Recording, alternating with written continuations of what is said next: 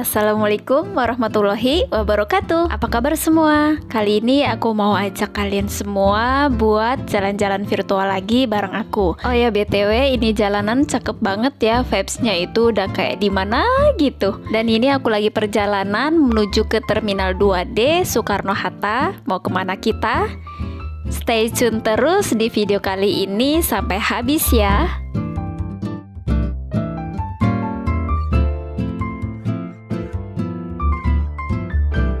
ini kita lanjut perjalanan menuju ke hotelnya. Yap udah ketebak ya. Jadi kali ini aku mau ajak kalian semua jalan-jalan virtual Dan kita room tour Hotel Aston Solo.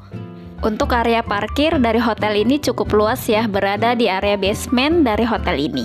Oh ya plusnya lagi dari hotel ini Jadi kita bisa minta jemput dari bandara menuju ke hotelnya.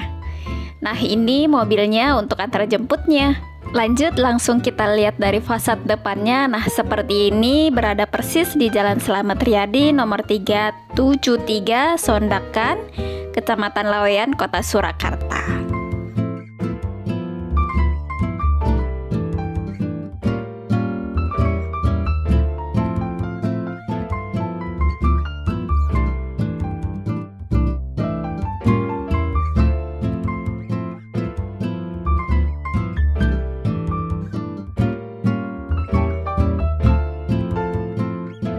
ini sebelum masuk ke area hotelnya kita ada pengecekan suhu oleh petugasnya Jadi kita harus mematuhi protokol yang ada ya. Yuk langsung aja kita let's go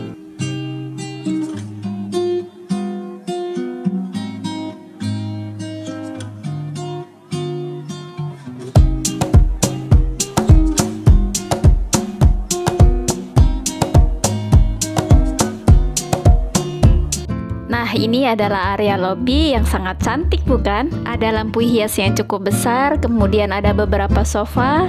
Nah, kalian bisa duduk-duduk manis di sini sambil menunggu check-in dan check-out. Oh ya, hotel ini berada persis di depan rumah Heritage Batik Keris. Oke, lanjut. Setelah proses check-in selesai, kita akan room tour untuk kamarnya. Let's go!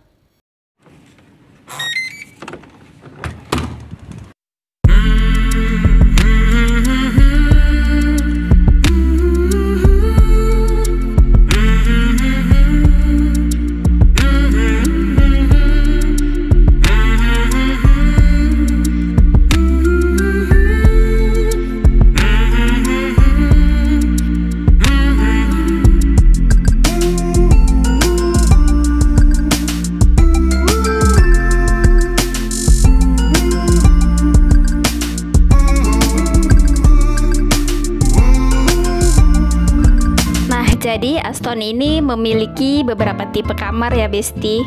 Ada superior, super triple, deluxe suite, dan corner. Dan yang aku ambil ini adalah tipe deluxe. Per malamnya itu dikenakan harga 600.000 per malam. Sudah termasuk breakfast, dinner, dan laundry. Gimana menurut kalian? Dengan harga segitu worth it gak? Oke lanjut, jadi kanan kirinya itu ada table kecil, kemudian juga ada lampu tidurnya Nah ini area sampingnya ada standing lampu Kemudian ada sofa untuk santai-santai uh, seperti ini. Lanjut bagian depan dari tempat tidur ada kulkas mini. Kursi dan bangku bagi kalian yang bisnis trip bisa mengerjakan pekerjaannya di sini. Kemudian juga ada televisi. Oke next, jadi di sampingnya itu ada teko listrik Kemudian ada gula, kopi, teh Semua sudah disediakan di sini dan untuk air putih kalian bebas refill karena di luar ruangan ini ada dispenser aqua gitu jadi kita bisa ngambil untuk air minumnya. Dan ini adalah view dari kamar ini langsung ke arah kota Solo.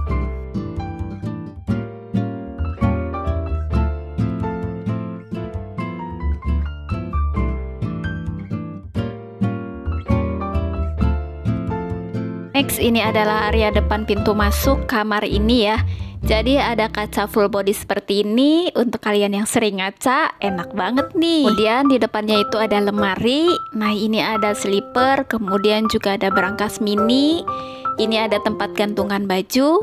Dan ini untuk pengaturan AC nya Nah, ini adalah area bedroomnya, cukup bersih walaupun Aston sudah terbilang cukup lama berdiri, tapi overall semuanya masih sangat nyaman.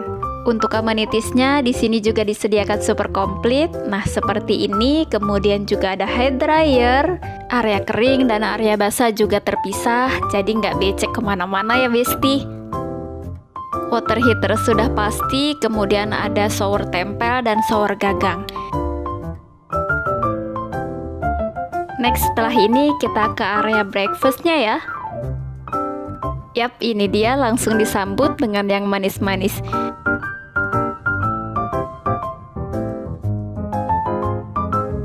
Nah ini untuk jusnya juga ada beberapa macam. Kemudian ini yang paling aku suka ada jamu.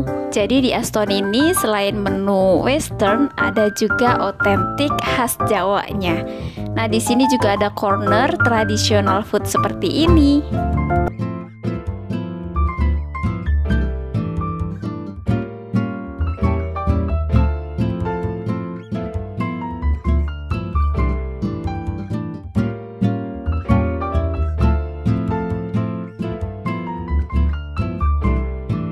Jadi breakfastnya dibagi dua tempat, ada indoor dan outdoornya. Nah, outdoor itu depannya persis banget dengan kolam renangnya. Untuk dinernya masih satu tempat dengan breakfast, kita bisa menikmati live musik di sini juga.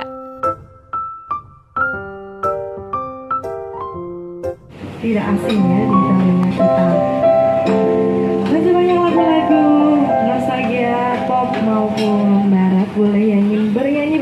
Kita atau request lagu kita persilahkan ya tentunya di Aston Solo Hotel.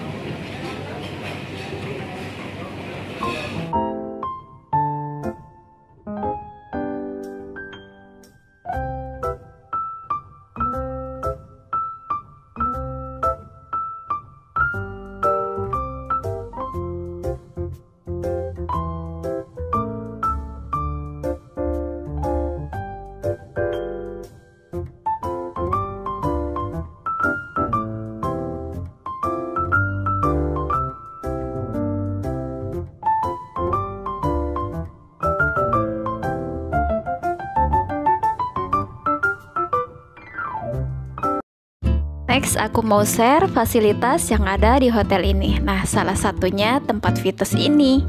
Walaupun terbilang tidak terlalu luas untuk tempat fitnessnya, tapi untuk alatnya uh, cukup beragam.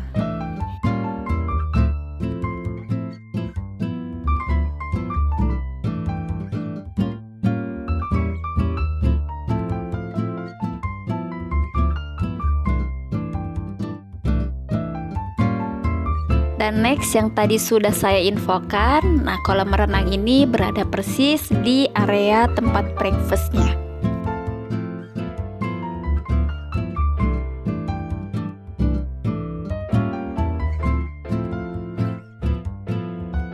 Dan di samping kolam renang persis ada tempat mainan anak seperti ini. Oh ya, just info untuk kalian yang mau mengelilingi kota Solo menggunakan sepeda, Hotel ini juga menyewakan sepeda dengan tarif 20.000 per jamnya.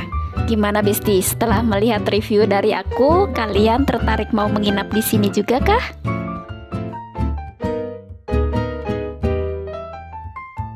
Terima kasih sudah menonton video ini sampai habis. Semoga video ini memberikan informasi dan manfaat untuk kalian semua. Jangan lupa bantu terus channel ini supaya terus berkembang dengan cara subscribe, like, komen, dan share di semua media sosialmu. Thank you!